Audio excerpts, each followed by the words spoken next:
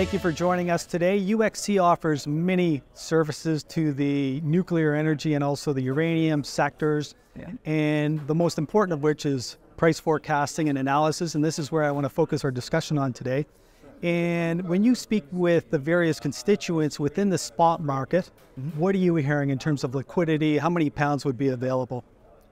Yeah, good question. I mean, it's definitely a, a, a much tighter market than I've seen in a long time. Uh, you know, let's say three, four years ago, it was flush with material, and we've had what I call three big shocks of COVID, Sput, and Russia.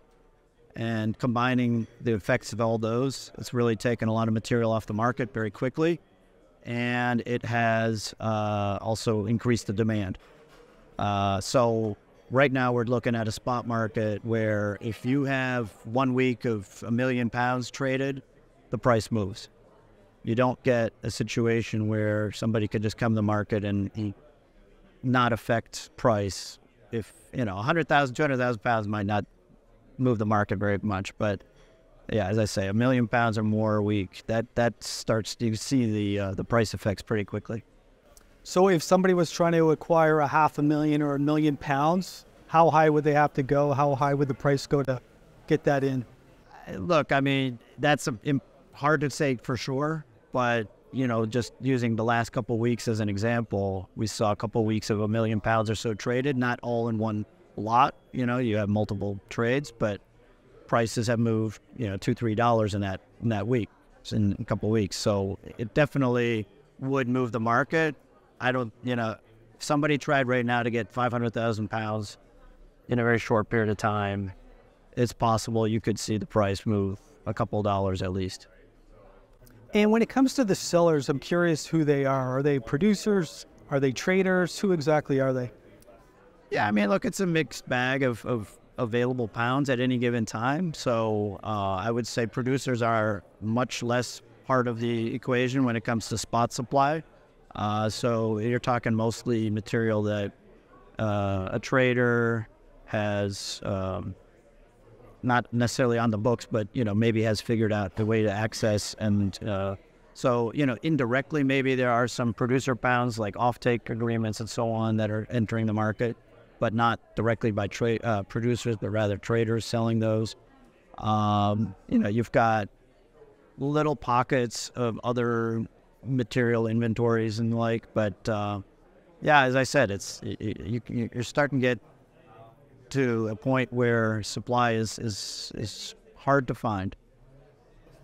And so that's a good overview of what's happening in the spot market. What about the term market? What are you seeing or hearing there? Sure. I mean, the term market, it, it, it really picked up already last year, and it's been a continuation this year where we've had, um, you know, regular interest by utilities around the country, around the world. I mean, you've got, um, you know, buying by, uh, you know, there's been some well publicized deals by China purchasing, but of course, um, you know, Ukraine kind of deal that Cameco announced, you know, pretty big contract with.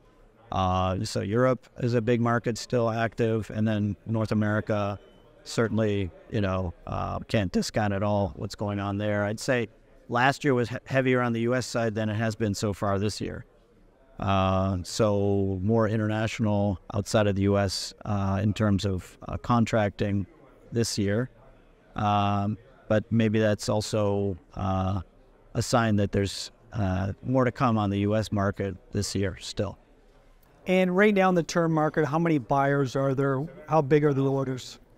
Yeah, I mean, there's there's regular activity. Some of it isn't public. You know, you do have public, uh, we call RFPs, where a utility comes out and, and says anybody, you know, that can't, wants to, can uh, respond. Um, you know, not all of these are for pure U3O8, but they can be, you know, bundle products like UF6 or EUP, enriched uranium. Uh, so, you know, at any given time, there's two or three maybe utility requests that we're aware of that are sort of more public. But then beneath the surface, you have uh, a lot more sort of bilateral discussions happening between producers, suppliers, and utilities that are ongoing. So, you know, they may be something that uh, happens quickly. You know, a utility goes directly to a producer and says, hey, what can you show me for the next five years, or you know, starting three years out for five years, and, and they get something done pretty quickly. But sometimes these take a while to sort of materialize. And when you look at the spot market and the term market together, what, what's your sense see, in terms of the tones? Do you feel like there's a sense of panic going on with fuel buyers? Uh, not not really. I'd say utilities are still they're they're definitely their anxiety levels have heightened, not just because of I mean it's a combination of course, as I said, we've had some shocks. Some of those have affected their concerns over future supply. So security of supply now is paramount. You don't want to be signing up for product that you might not get. Uh, so there's definitely that risk profile has changed in their view, uh, but price remains obviously of, of concern. They, they, they, they don't want to be paying above market. Um, so, I mean, look, panic is not the way I'd put it. Uh, in the nuclear industry, you know, it's a conservative industry where folks run nuclear plants, and the last thing you want is panic in a nuclear plant. Uh, same goes in the fuel side too. So, uh, but that being said, I mean, there's a lot more interest right now by utilities to lock things up further out in time than I've seen in you know uh, in, in, in many years. So from that standpoint, the buying, the desire to buy and make sure I have product and fuel for my reactors down the road, that has increased substantially. And I'm wondering about the recent news with Niger and also with Cameco reducing production at McArthur. Have these events uh, created any more interest within either the spot or the term market, or is it still too soon?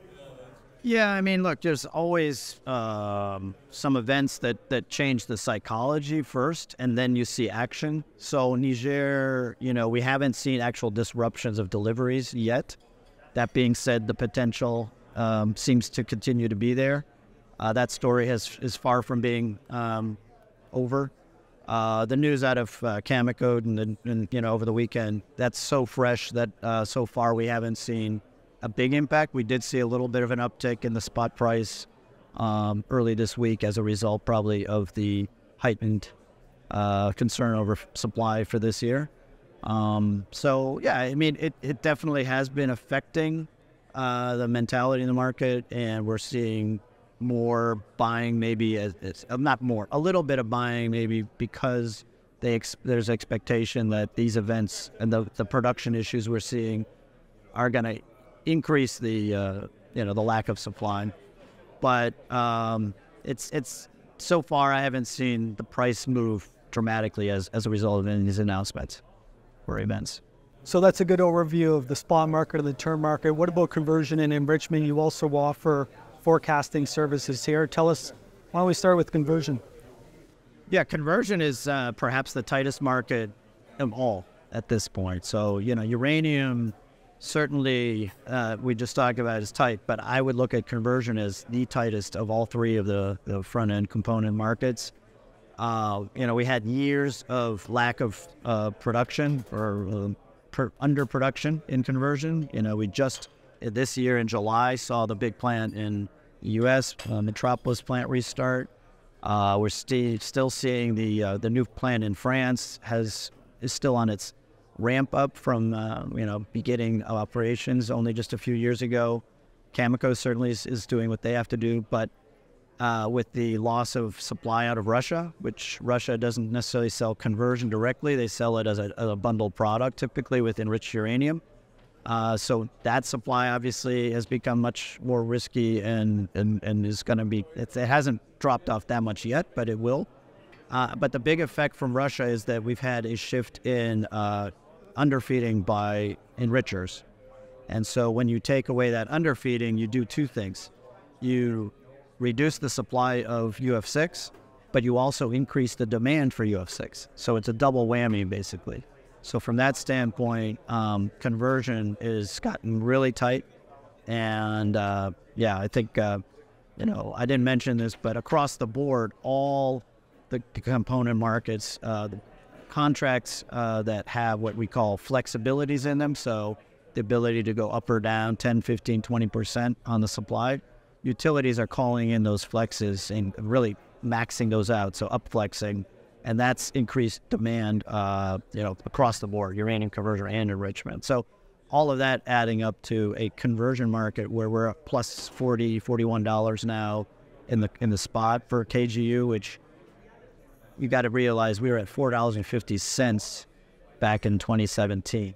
So that's the spot market. What about the term market? Where's it trading? The term conversion market is right around thirty dollars, so not that far off the spot. Um, but the spot is really tight, whereas uh, term is based more on production uh, out in time, and yeah, thirty similarly is more than double where it was just a few years ago. And what about the enrichment market? Sure, yeah. there? Uh, so enrichment, great story there. I mean, you've got obviously, as I just talked about, the impacts from taking enriched uranium SWU out of uh, from Russia out of the market, uh, and at the same time, the only thing that the uh, the two other big enrichers, Urenco and Orano, can do in the short term is shift the way they operate their plants. So, um, uh, you know, increase their their operating tails, which means they can supply a little bit more SWU, so the enrichment side, but again has the effect of increasing demand for the feed, the UF6. Uh, so yeah, I mean, price jumped dramatically uh, around April of last year. Um, you know, from uh, I can't remember exactly. We are on 50 60 dollars, and now we're you know we've moved well north of 140 uh, at the moment. So uh, getting close to 150. Uh, so yeah, it's a very uh, tight market, spot and term. Um, you have uh, you know some reaction so far from enrichers. You've seen Urenco announce they're going to add a little bit of uh, SWU at their U.S. plant in New Mexico, but that's not going to come online until 25 at the earliest. So in the near term, um, you know, enrichers are only able to give so much uh, supply, and the prices are just uh, not. Yeah, I mean, prices are now up to a level where they're incentive to produce more, but at the same time, um, you know, you you could see some more room for upward moves on on the SWU price too. Jonathan, in the past year, many market pundits have said that the spot price was not moving the way a lot of people thought it would with the positive narrative behind nuclear energy because utilities were focused on conversion and enrichment.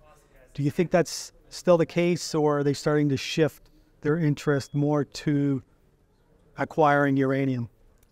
Yeah, look, I mean, it is true that, especially after the invasion of Ukraine, the first order of concern was the enrichment because that's really what Russia supplied in the Western market the most. Uh, and so, yeah, it was natural that enrichment and follow on to that conversion because of the feed needs were of higher priority, let's put it that way.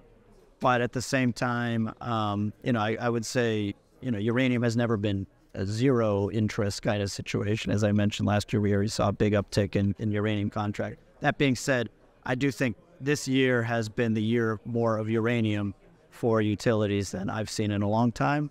Um, and you know that that is leading to a lot more buying behavior by the utilities. But you know, does that directly impact spot price all the time? Not necessarily, but you know, so, certainly we've seen an upward move this year in, in spot. Right, we started the year um, sub 50, and now we're plus 60. So, you know, not a bad move up if you consider you know where we were starting at, and I'd say there's still room, upward room, you know, uh, as a result of the activity that both utilities are doing. But again, it's not just utilities that buy uranium. So, you know, you do have producers, uh, traders, financials, you know, all of the above are active in that spot market, especially. So it is uh, clear that the demand for spot uranium, um, and then as a follow on for forward delivery, mid- midterm, long term, that that is not letting up in any way from what, what I'm seeing. Jonathan, I'm going to put you on the spot now. Last year, there was 125 million pounds contracted. Where do you think we go this year in 2023? Well, I can tell you it'll be higher than last year, um, mainly because I already know that around 120, give or take, maybe even close to 125, have already been contracted so far through the end of August. So, from that standpoint, knowing that the uh, fall season tends to be pretty active in terms of uh, term contracting, I'm not going to be able to say for sure how high it'll go 150, give or take, maybe something in that range. Uh, 200 million? I don't think we get to 200 uh, this year, but you know, never say never. Could could happen still. Jonathan, you've been involved in this industry for many years. Have you ever seen another time when it's been this bullish for both nuclear energy and also the uranium? Yeah. So I was just quoted recently as saying, uh, you know, this is the best setup I've seen uh, for nuclear in, in my career, and I, I do think that uh, that still holds. Uh, so I, I, was around in the last bull cycle with you know prices going pretty sky high in 2006 and seven.